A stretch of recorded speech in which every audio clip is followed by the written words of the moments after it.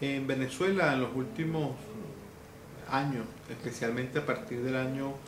2005, eh, se ha venido estableciendo una serie de, o se han venido dictando una serie de medidas legislativas, judiciales que van han creado, digamos, una suerte de una arquitectura legal eh, que termina siendo bastante restrictiva a la libertad de expresión. Eh, leyes como la ley de responsabilidad social en radio y televisión, la reforma del Código Penal,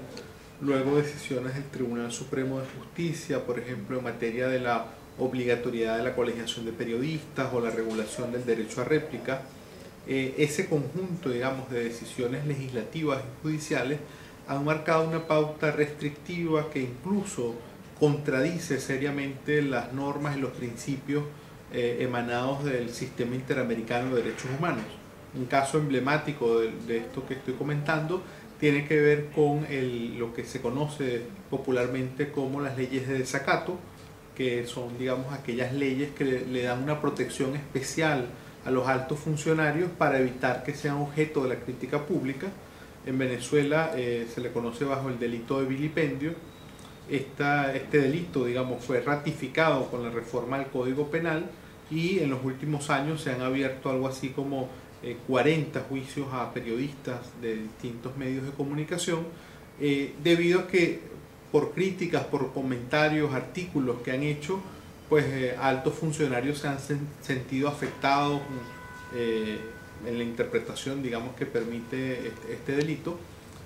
cuando justamente lo que está promulgando, la está proponiendo el sistema interamericano es que sean los, funcionarios públicos quienes estén sometidos a un mayor escrutinio público, que los funcionarios eh, precisamente sean objeto de del cuestionamiento de la crítica pública. Entonces eso ha sido, digamos, una tendencia en Venezuela en los últimos años,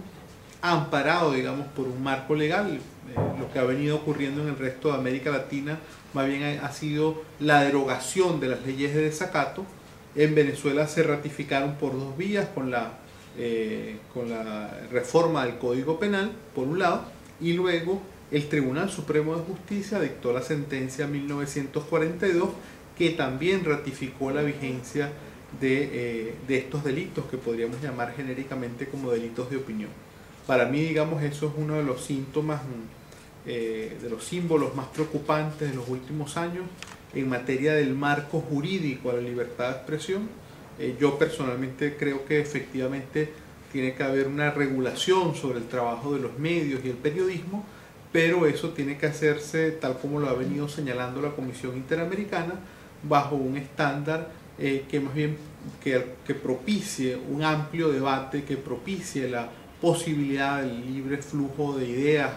opiniones e informaciones y no que lo restrinja, que es un poco la tendencia que ha venido ocurriendo en Venezuela en los últimos años.